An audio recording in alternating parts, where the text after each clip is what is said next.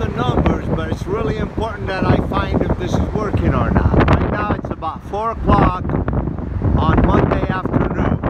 And as you can see, there's no business. But I just changed the message and I'm gonna let you see it. It's all about Jamaican food. It mentions our name and then it says Jamaican food, hungry $6, food $6, shop Randall, back to Jamaican food, hungry $6, food $6, open 11 to 8, six days, pick up litter, the litter bugs. This is good for the image of the city and advertise on LED signs.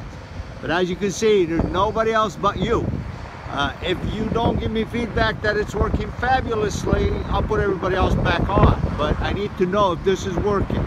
So please check your numbers, check how traffic picks up, hopefully very quick. LED signs, 800-955-0505.